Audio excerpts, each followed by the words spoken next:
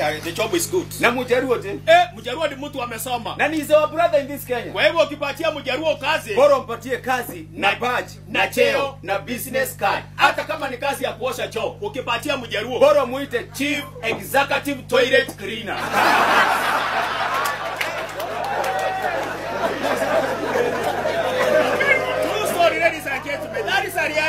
is a reality. Na ndugu yetu Mbaruya naye. Mubaruya ukimpatia kazi is our brother in this Kenya. Ya na Mubaruya ni mtu ako very democratic. Mubaruya angalia chama zote yuko Ukienda Jubilee, yuko. Ukienda NASA, yuko mbaruya. Ford Kenya, yuko mbaruya ndio democratic ya Mbaruya kwa nyumba sota, weki mayai yake mahali pamoja. ukipatia mbaruya kazi Mupatie kazi. na servant quarters pahali pa kuishi kazini. Hata nyumbani aendi. hata ofu ataki. maana mshahara yake Mshahara yake kwa vile alipi nyumba, kwa hiyo ananua radio mbili. Radio ya kwanza. Anatumia wife kakamega. Na radio ya pili. anabaki nayo kwa servant quarters. Sasa kazi ya Mbaruya. Ni kutuma salamu In the state of going home. hata wewe mwajiri anakusalimia kwa redio na kama ni urongo fungulia KBC ya afungulie radio station yoyote ukifungulia radio utasikia wale wanajua kutuma salamu ya anaambiwa salimie watu wawili. anaweza salimia watu wa msili for example take an example Huyu ni Mbaruya Eh. na mimi ni mtangazaji wa ah, karibu sana ndugu katika stori zetu. sema yako kandi Ambia wasikilizaji majina yako na utuambie umetoka wapi. kwa majina kamili naitwa Richard Wepukulu kutoka sehemu za Kakamega Ingo Ulianza kushiriki lini katika hifadhi ya kutuma salamu? mondo kwa mondo salamu bwana vitu vichinjanga bwana ndiacha kutuma Basi watu wanakusikia kwa redio na leo nakupa fursa sasa. redio kwa Unasikika kwa redio? eh bwana Unasikiaje? eh salama sana bwana Basi salimia mashabiki wawili na uwapatie ujumbe. kwanza kabisa ni kwa sotoa sio abiri kango amanyi ndio ndi ndako Unaona alikuwa ameteza sema Eh, ujumbe ni kwa wanyama akiwa Butere, wanyama akiwa Bungoma, wanyama akiwa Kakamega na wanyama wote wale wako Kenya. Ujumbe ni kwa bibi yangu. Unamwambiaje? KBC ndio nusu ya kuonana kandi. Wakikuyu, Wakikuyu congratulations. Anyway, Wakikuyu hawapendagi kutuma salamu. Wakikuyu ukisikia Wakikuyu ni, ni ngumu sana wale kiwa unasikia sabiki Wakikuyu. ni mmoja tu Ni mmoja tu. na sio mwingine, Ndio zote. sio mwingine. Wajoi wakigoine kutoka tetu. Wewe ndio ule shabiki mkubwa sana. True story. Na unaona mwanetu vile akina mama wananichekelea. Wanaume msifikiri ati akina mama wanacheka vile tunaongea. Hawacheki vile tunaongea. Wanashindwa hili nini? Wanacheka hii problem. Lakini ukipata this problem, Maternity ni free. lakini ukipata hii problem, Tulikuwa huko huyu akipimo. Wamama wakikuna wakapo wanapiga nduru. eh, kwanza wahebu ndio Wakizaa. kwanza wahebu ndio denje. Hebu Gonga. gonga. Wajaruo ndio wakali. Maternity wanatukana mabwana zao. Wakiza. Wanawika. Mimi na onyango yawa. Adoti matito ungeniti ko kuoni mang'eny. Anaulizwa na daktari. We mama. Wakati mlikuwa na unyango, ulikuwa unasemaje?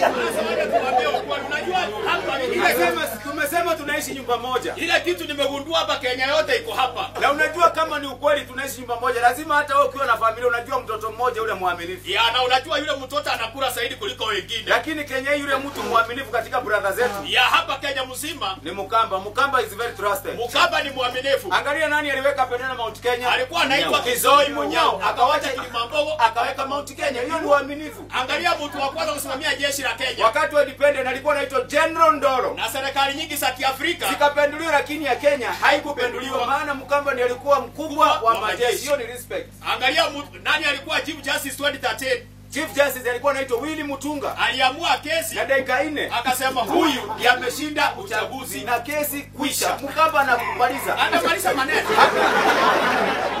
na kama muamini Mkamba ni mwaminifu Nani alikuwa vice president wa Kibaki na hakuwa chama moja na Kibaki? hakuwa wa chama moja na Kibaki Kibaki alikuwa PNU. na Kalonzo alikuwa Wiper Na unaona Kibaki anaangalia kaona katika watu wote Kenya mzima huyu ndiye anafaa vice president. Maana ni Mukamba ni muamini. na ndio mjue Kalonzo ni mwaminifu Si aliwachio kiti ni Kibaki na hakukalia na hata kalia maana ni mwana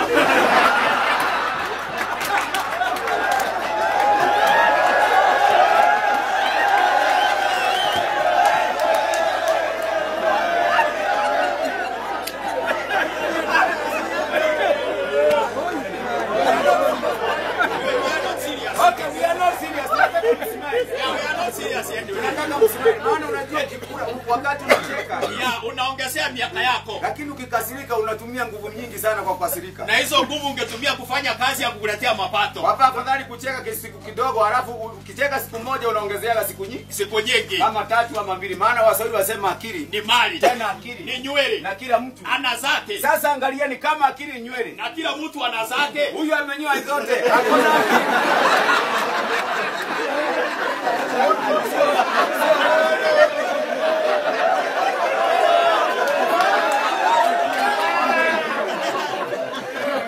Sasa Yule anyway, mzee tutatetea sana ni yule ana kipara, ya yule mwenye kipara Maana maana sikunyoa amenyoa. Ya yule mwenye kipara tutamtetea scientifically. Kama akili ni nywele, Basi yule mwenye kipara hata ule ako na akili mingi, mpaka anakuwa na ile kitu inaitwa na kizungu academic erosion, yani momonyoko wa akili. Utasema namna gani?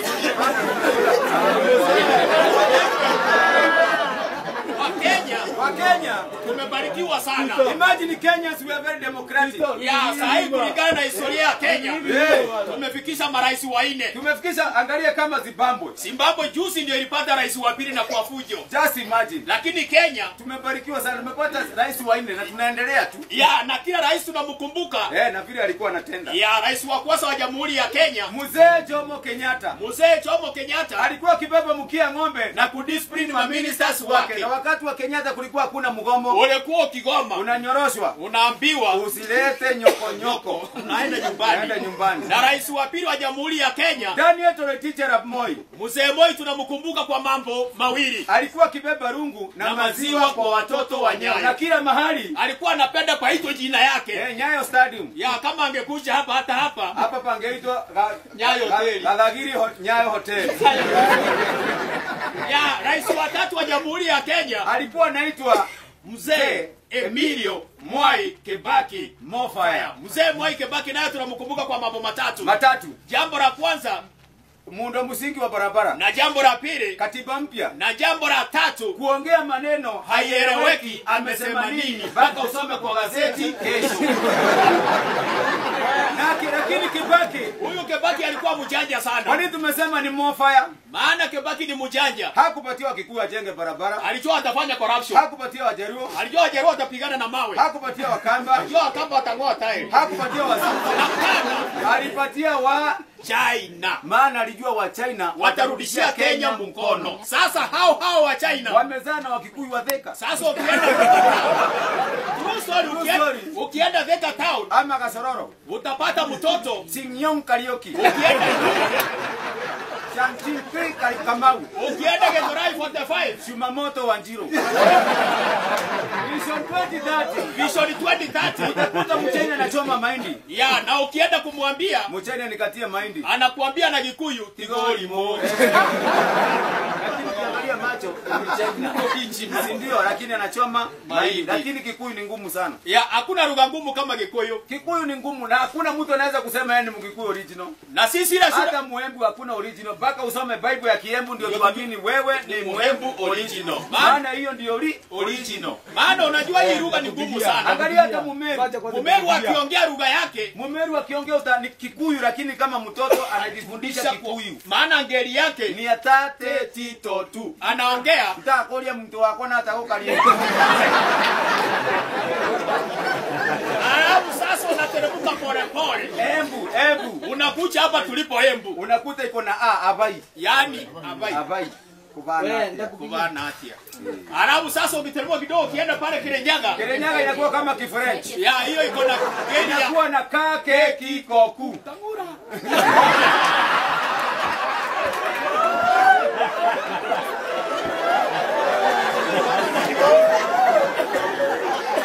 Sasa unaona ni- bado hiyo ni Kikuyu ni Kikuyu. alafu sasa ile Kikuyu ngumu Ile Kikuyu ngumu my Nyeri. sasa nenda Nyeri kwa Moi Kibaki Anza Murang'a. Anza Murang'a Murang'a iko na ma Me, mi, mo, mu. Ndiramira muke tulie naenda Sasa enda Nyeri. Nyeri ndio Kikuyu ngumu zaidi Iko na chache chicho chu. Na ikianza na cha inaisha na ti. iko na formula. iko na formula Si ndio? ikianza na cho Lazima ikuwe na ti. for example Ule kila ti cha ti na wewe na cha.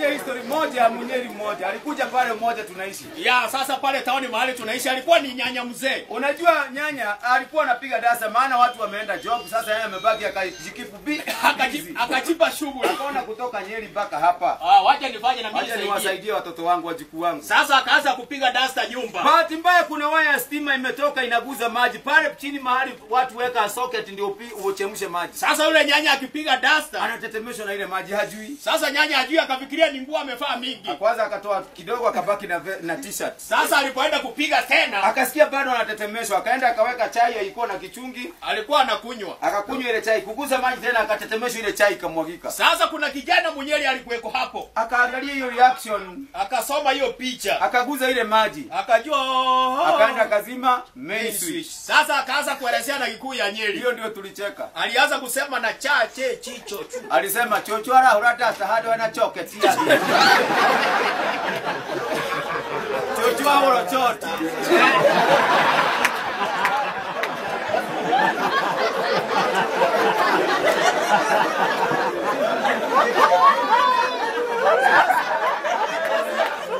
akaelezea kuhusu ile reaction ya kutoa ile t-shirt akaenda kuweka sa- chai akasema chochwaro chatli athi aruta ti chati atikona chati ekera chai na gachugi athikona ndaca ringiri ahoro choti